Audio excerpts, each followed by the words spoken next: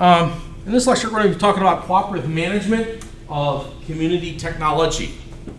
Okay, let's, uh, to get started on this, um, I want to remind you a few relevant subjects. The one that's really probably most relevant is the, the movies we watched on YouTube, Water by Ole. And the pump, the community technology in that case was a pump, a water pump. Okay? And you remember everything that happened with it? It had all kinds of problems. In the beginning, repair problems, reliability problems, lack of understanding who was going to maintain, um, repaired pump who's going to pay for the repairs, all that stuff was going on. They fixed it all. The community, you know, with the community figured it out. And then, and then what happened? Well, they set up, a committee, and then what was amazing is the student, since the, the community started cooperating on the pump, okay, they start cooperating on a lot of other stuff, and, and the whole community lifted itself up. It was a fascinating thing, based on the technology, okay. So we're going to come back to this issue of. Uh, managing community technology. The other one is relevant. Um, I didn't discuss too much, but um, it's in the book on in the section on participatory development, and that's on the subject of the management of common pool natural resources. Okay. So in that situation, you let's say a community has a forest next to it, and you go hunting in the forest, or you gather berries in the forest, and the community realizes that there'll be a tragedy in the commons if they don't manage it. In other words, everything will be just devastated, and they'll have nothing. So they, they control access, they come up with a committee, and they do this sort of thing. This sort of thing works in practice in the real world all over the world. People can manage a natural resource, okay, um, if they know what they're doing. Another relevant idea earlier on in the book is the notion of the common good from the Catholic um, social justice area. Um, the idea there was is everybody's supposed to contribute to the common good, things that are good for everybody, like healthcare, education, or whatever it might be, and uh, according to their possibilities, is what they say. And then people can take from the common good too. And so there's sort of this shared, somebody might call it a shared bank, or but it, it's much more general than that. It's like a shared resources. It's social conditions is the word they use. So it's it's a very general notion, but it's it's it applies to natural resources. It applies actually to technology Okay, so now my resource I'm going to be talking about, I'm going to often call it a technology resource. Okay? And I'm doing that in analogy with some of these other ideas like natural resources. So it's going to be a very basic question. Should people manage the technology? Okay? Just like the water by Ole, they manage the technology. Um, and, uh, or should technology manage the technology? Okay? That is, should we automate the management of the technology? Okay, so we're going to examine that question today. Actually, I think it's a very complex question. I've talked to several people about this issue, and it's actually not clear what is best. And so that's the way I'm going to present this. I'm not presenting this today as like, you know, we have to use technology to do this, throw the people out. I'm not presenting that way at all. I'm trying to find a middle ground and ask the question, what would be good about letting technology manage technology? Okay? um, versus it being bad. So you can name these uh, systems uh, different things if you'd like. Um, so the community technology examples, some obvious ones are a water pump, an energy source like a biodigester, okay, a sanitation service like a set of toilets, or a cell phone charging station. So it's any technology that is shared. Okay, it's just that's the idea. In, in appropriate technology, often are concerned. This is a type of appropriate technology. Okay?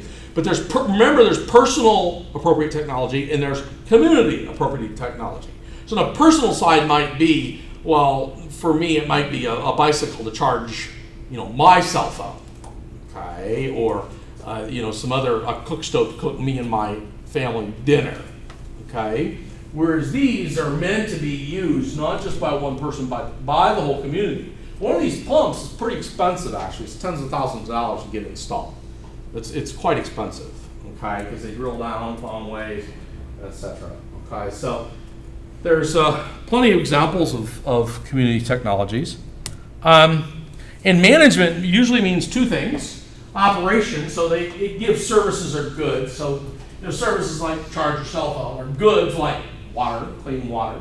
Um, and it has to be given an adequate quantity and quality, of course, like quality of water and equitably. This equity among users is a challenging issue, okay? And uh, so you might think of a pump, everybody goes to the pump, they pump the water out themselves. Okay? Or should it be that somebody stands at the pump and helps them pump the water and charges them money? Why? Got to maintain the pump. Okay? Some money's got to come from somewhere. Natural to take it from the users somehow. Okay? Maintenance. Well, you know, they need money for maintenance. So uh, under heavy use, everybody knows technology breaks down. It, it, it's going to happen. Engineers know it in a very technical way, in a very precise way. Okay. Um, usually that's quantified by the concept called mean time between failures. That's the engineering term, MTBF. Okay. So whatever happens, it's going to cost money. You're going to have to repair it. You're going to have to replace it. Whatever it is, it's going to cost money. So where does the money come from? So the pump works for six months. It breaks down and your, your humanitarian engineering project, long gone. You're out, you're back in the U.S., you're fat and happy, and you know, you're home and sitting back, and their pump dies. What happens? So if you haven't set up a way to maintain this thing, you don't have long-term impact at all. This is a very challenging issue. So how do you get money from people who are making less than a dollar a day, for instance? Okay, this is a very challenging issue. Okay, and how do you know the pump even broke down? They're in the middle of nowhere. How do you know it broke down? That's a challenging issue. Okay, so an example here would be, um, uh, looking at this diagrammatically, is let's say we had three technology resources, a cell phone charging station, a water pump, and a set of toilets. And uh, you have five users, and the users, uh, there's a lot of issues in this diagram, so in some ways, some of these um, resources can be used by more than one person at a time. Typically, a cell phone charging station like might have 10 outlets, right? And you, many people could chuck, plug in their, their phones. Uh, you know, but a toilet, one toilet per one person per one time. A water pump, one person per time, right? But what you can also, so so you, you can have many people share some resources and, and there have to take turns and others like lines or something. But there's another issue because what I'm going to do, like uh, I can do at home is I'm going to start my cell phone chargers and I'm going to go to the bathroom. Right? I mean, you know how it works. I mean, you can do, you can use two resources at once. Okay, then the question becomes too, is it, well, do I charge for all this? Well, how much should it cost to go to the bathroom versus get a gallon of water versus charge your cell phone? Should I give away one service so that I, I, I uh, get them using the system and I charge for something else. So for instance, I might give away the water, okay, because water is a human right, period. But charge for the cell phone. But then the question is, is will the people say, ah, charging too much, I'm gonna, I'm gonna charge the cell phone with my little hand crank or, you know, or something else. And then, or this one's really complicated, the toilet. Well, you know, if you charge the toilet, you know the solution to that for somebody. Out back. Right? So the question becomes, especially culturally, this might be completely appropriate. So the question becomes here is, is what can you really charge and get away with? You may, may get away with nothing. Okay? Now, a system like this, this might sound, sound unusual, but it's not. Every one of us use this system every day. What do we call it in the United States? What, what do we do? We have utility companies, right? They, pay, they charge us for electricity. We get our electric bill. What happens? Do you think my wife and I pay the electricity bill? Well, yeah, but what we did is we set up auto withdrawal. So, in fact, what happens is once a month it just pulls money out of our bank account. We keep getting paid. But if you think of it from a broad perspective, there's how many million people in the Columbus area that are doing this, right? And they're all paying for the community technology. It just happens to be a big electric power plant, well, several of them around the state. You see that that is being done all the time. It happens with water in the United States. It happens with sanitation. We do this. We charge people for use, right? So what's wrong with doing it here? Well, it's more complicated in a certain way. Because look, in this situation, um, the people are making a lot less money. Now, if, if my wife and I don't pay the electric bill, what happens? So they give a little grace period, but boom, they shut it out. They shut it right off. This happens all over Columbus. They, especially in the poor communities, they get the electricity shut off, right?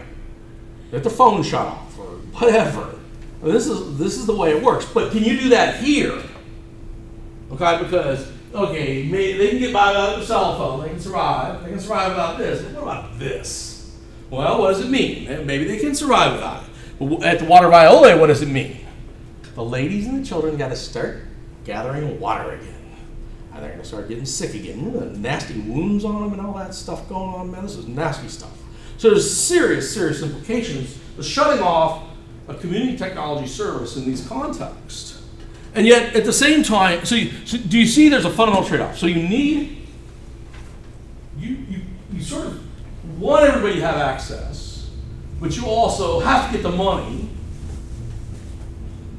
If you shut them down because they're not paying, they pay a serious price. So you can extract the money from them. You can make sure the system's reliable and is there for a long period of time. You're going to help them for a long period of time, right? This is this is really going to get complicated how to manage a system like this. This is a very very difficult engineering problem because there's a lot. This is a socio-technological system. It's it's very intimately coupled with human behavior and multiple humans' behavior. Okay. All right. Questions, comments? Okay, so let's start um, studying this a bit. So I'm going to call these technology resources or community technologies or M of them. Um, there's N users, and then I get an amount of J for, for user I of Rij of the resource. Uh, we have these possibilities of simultaneous use. Then you have the issue, issue of continuous versus discrete use, because you can go to a water pump and get any amount of water, a gallon, two gallons, anything in between, right?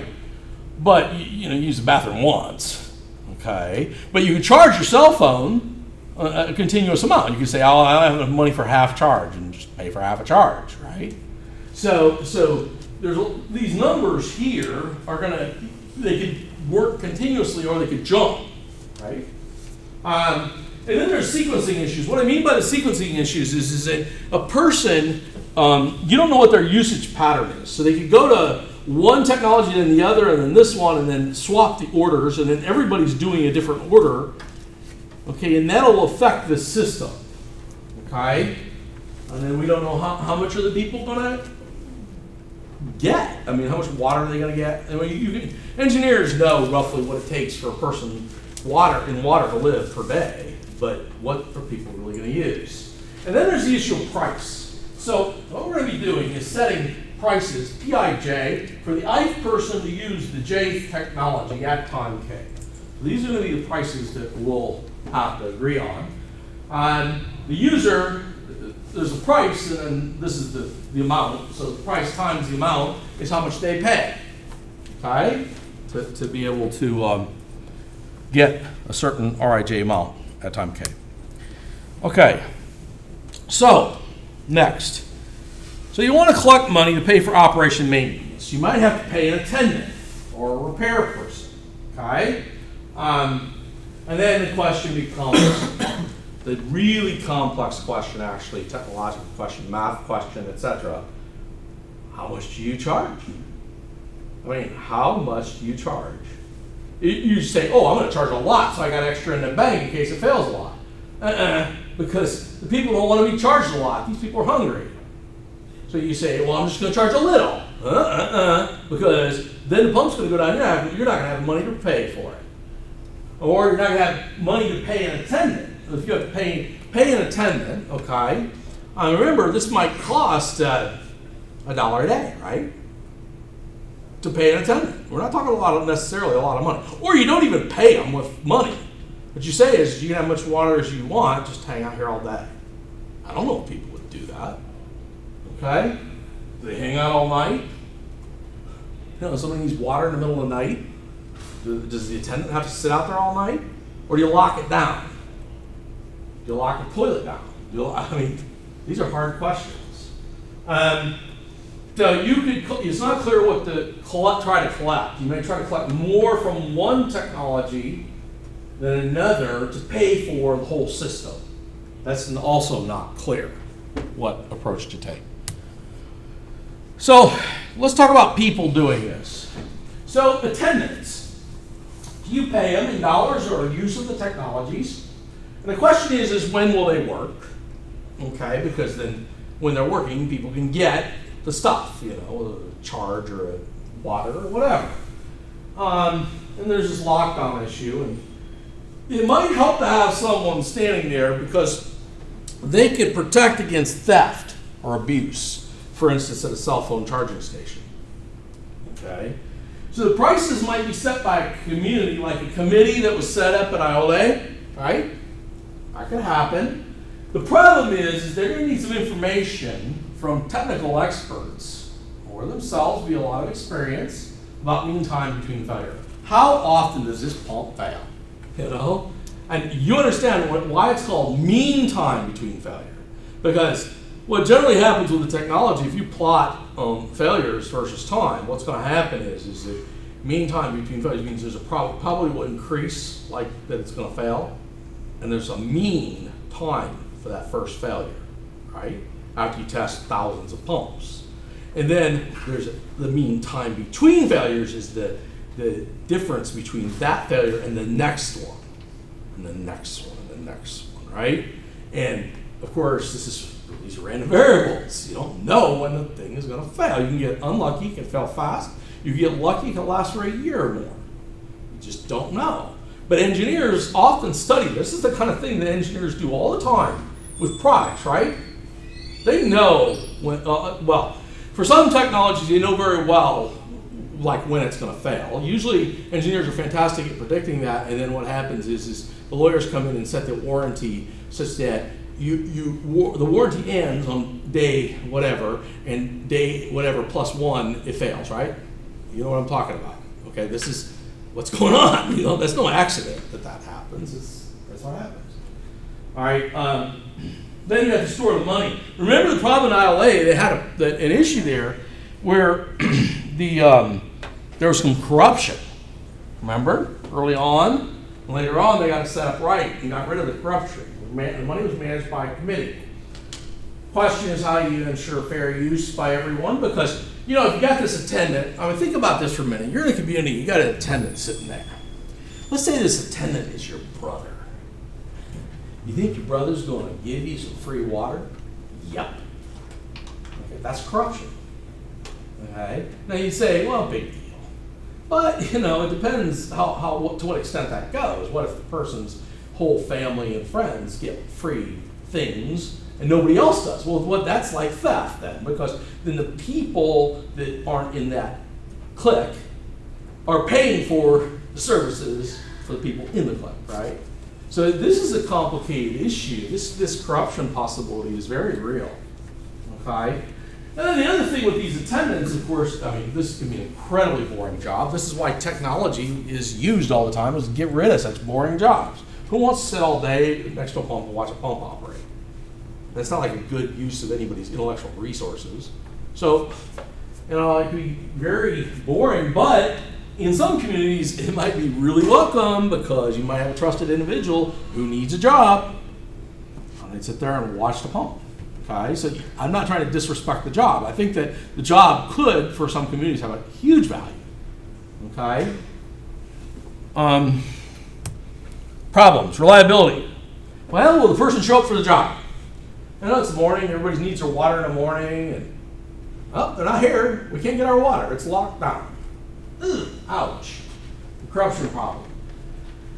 Other number three is a big concern because if you think about the complexity of the problem of mean time between failures, and then ask what the pricing should be, and then you take three of these community technologies with many users, 100 or more users, how much you should charge is a difficult thing to work out. It requires a computer algorithm to do it and to do a good job at it. I don't think a person can necessarily do it. I think a person could do it, but they'd have to be conservative. They'd have to charge too much to make sure they had enough money. The trick with automation should be that you should be able to drive prices down and still ensure a high probability of having the money on hand. Okay? That's a very challenging technological problem. Okay? Um, next. So, if you have, uh, management failures by the community, and you start getting a bunch of downtime, suddenly nobody trusts the system. And there's a lot of animosity in the community, right? The community isn't running the thing right, and people get upset. You know, we're talking about a very basic need of clean water. This is something to get you upset. Okay? So if the, if the management, that is the people, are not doing it right, other people are going to get very angry. All right, that's a very, that can be a tough situation. Okay, so let's go to an automated slash semi-automated management of community technology. So I'm going to assume there's some electromechanical devices at each J, at each thing. It's going to display the price and it's going to gather money. Now this creates problems right here. So you think, well, you're talking about a Coke machine, right? You're talking about a machine that can take money in and give a service out. It's as simple as a Coke machine. The problem is, first assumption is that they have money. That's a bad assumption. That they have that they have coins or that they have cash. That's not a good assumption. So it may what to make this work in some places, you may need a, a community a committee that will sell like tokens or trade tokens for other contributions, right?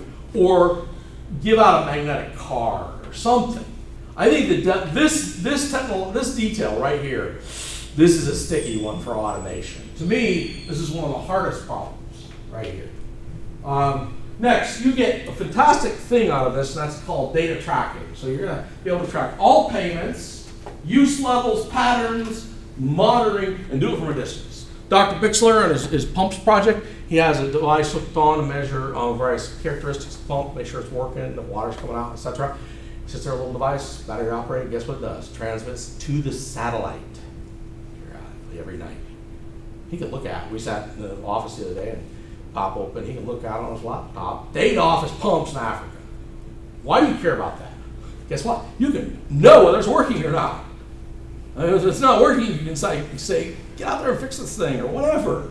Okay? Um, it's also to say to test how good of a pump it is.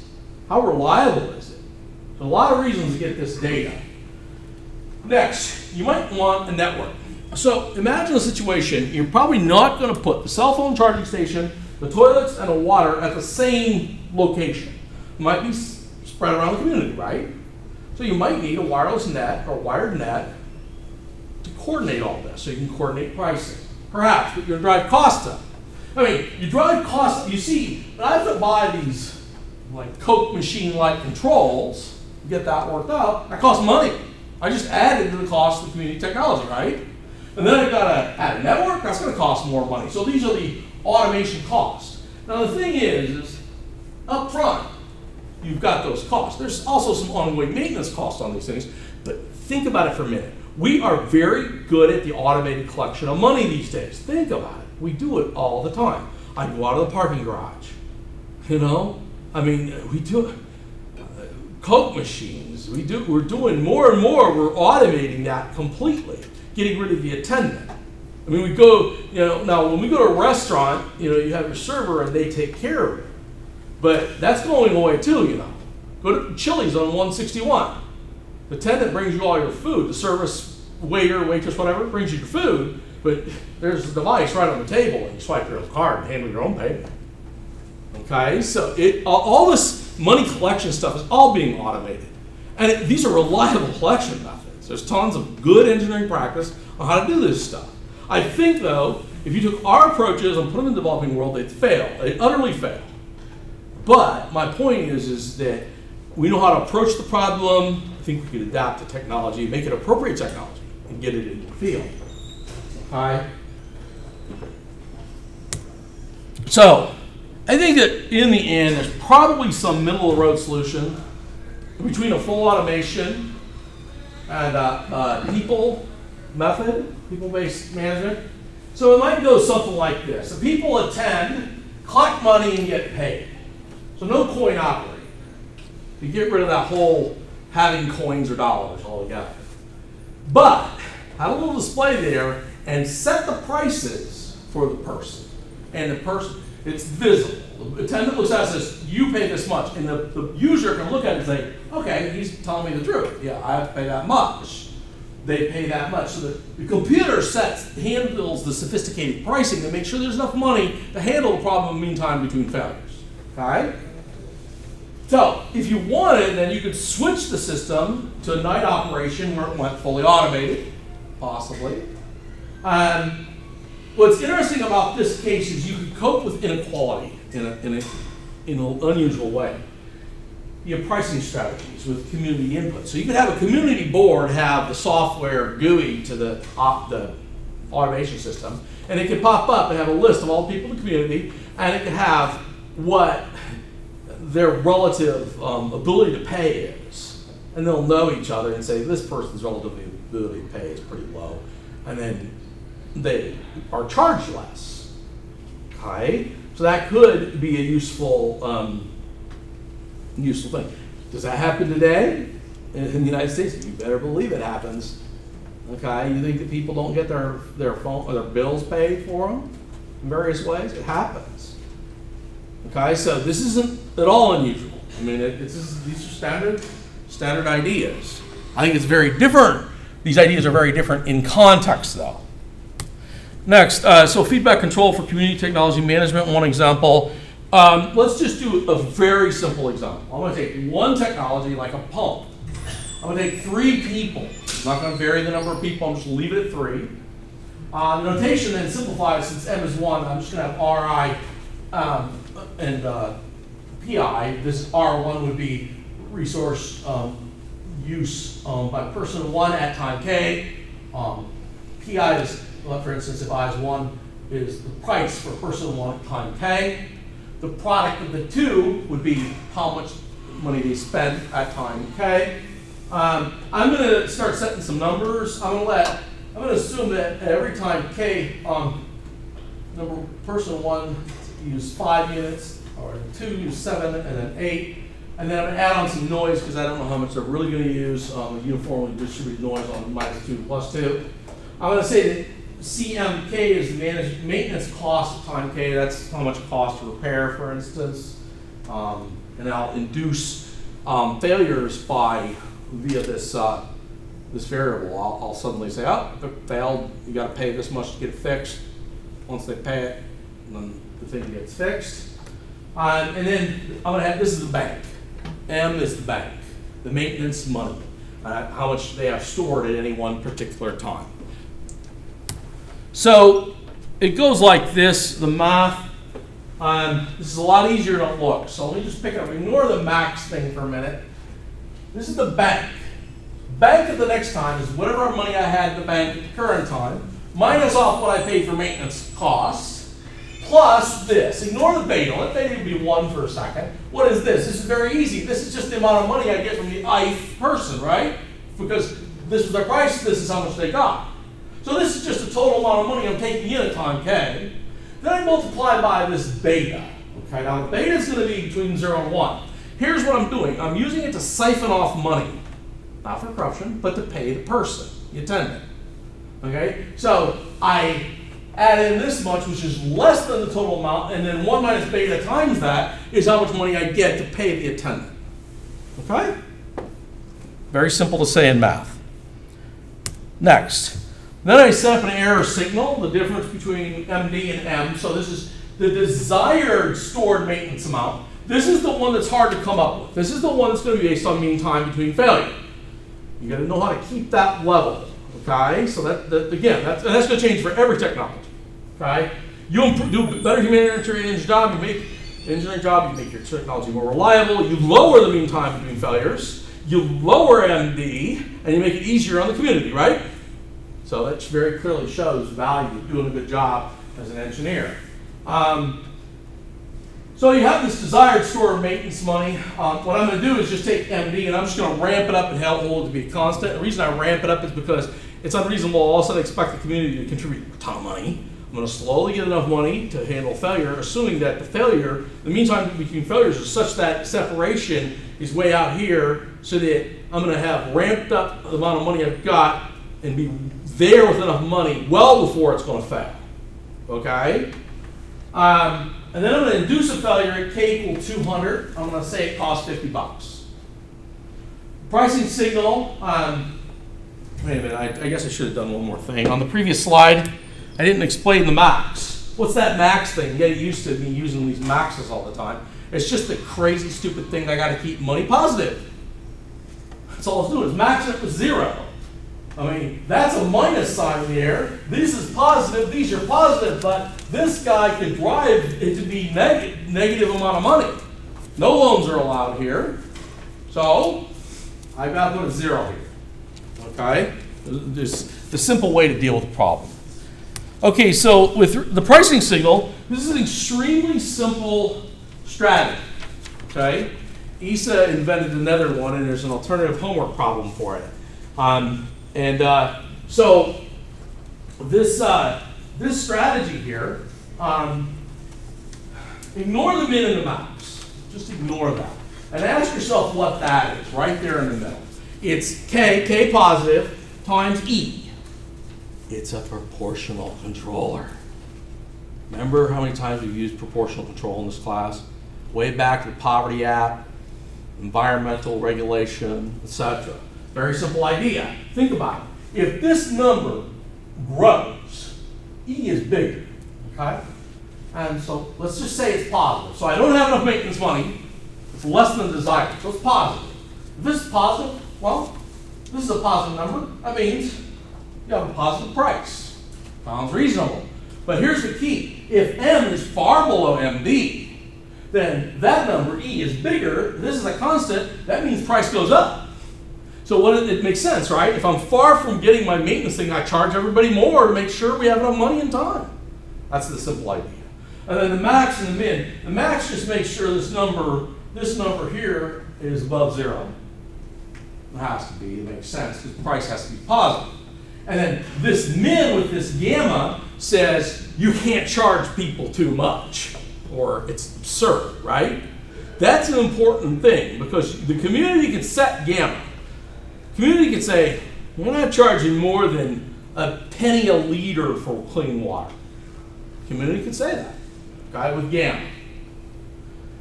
Okay, so this thing tries to dynamically adjust these prices to drive M to MD. Um, and uh, I want to add, I want to add one more wrinkle. I'm not going to charge everybody the same.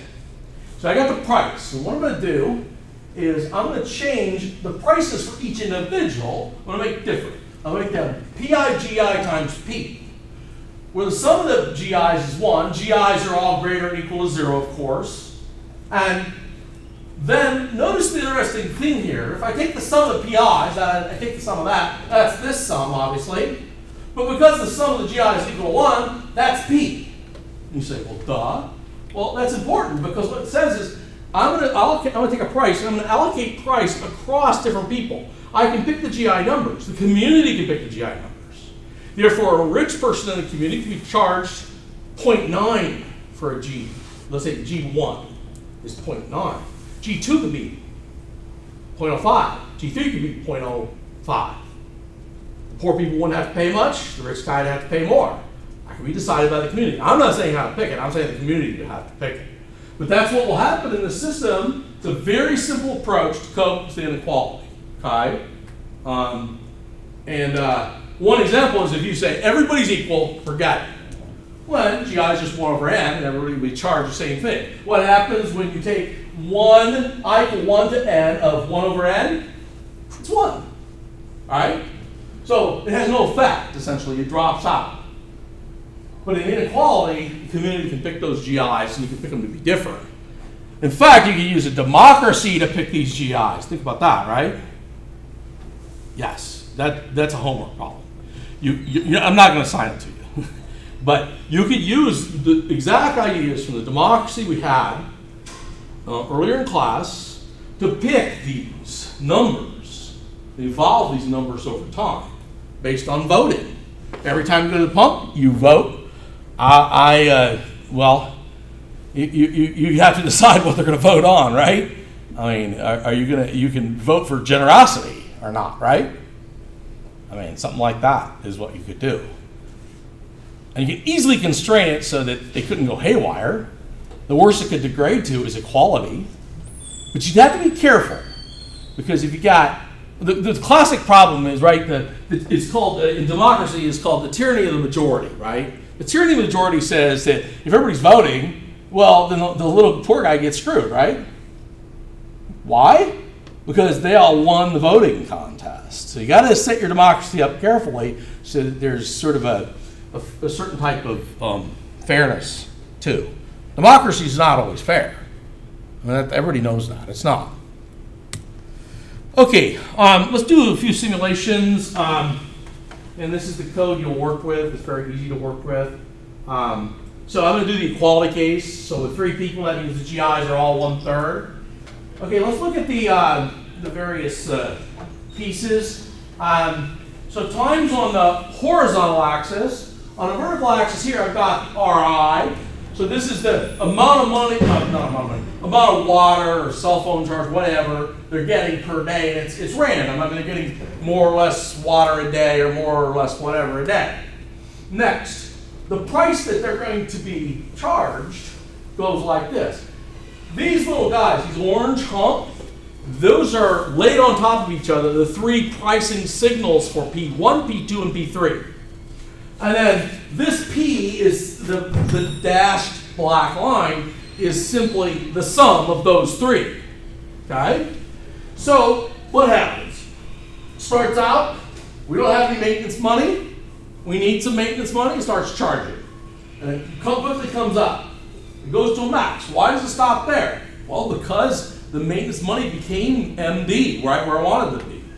Okay, and then it uh, uh, I hold no, no, it it it, it, start, it was headed. To, I'm sorry, I said that wrong. It it hit the max, it hit gamma.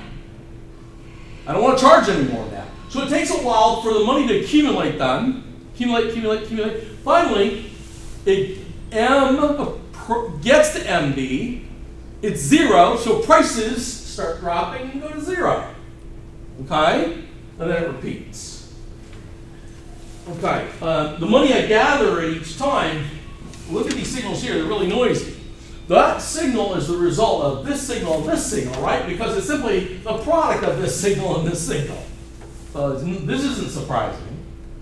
Now, this shows uh, the money, um, right? It's meant to be aligned with one above it. So this is MD is the red, um, and then CM of K is is uh, the. I'm sorry. I'm sorry, I said that wrong.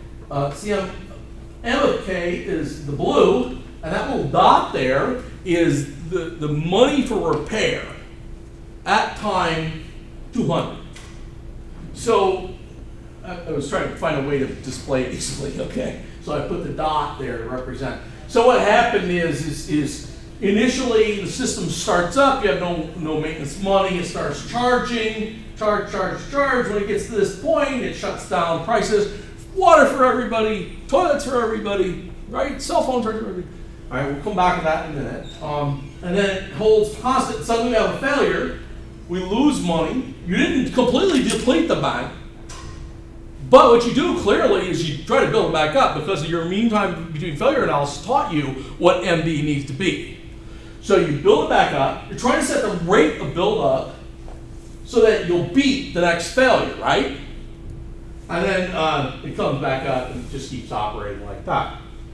So the dynamics are, are, well, they get a little sophisticated. I mean, do you see though that there's a very fundamental thing going on here with respect to feedback control, and that's how the problem's formulated. It's formulated so that the thing that's the uncertainty is like what's called a disturbance, and it can be overcome by the feedback controller. What I mean here is, what's the uncertainty here? When it's going to fail. You don't know when it's going to fail. So in the simulator, you think it really matters if this thing bumped back to here? Eh, it doesn't matter. It'll behave the same.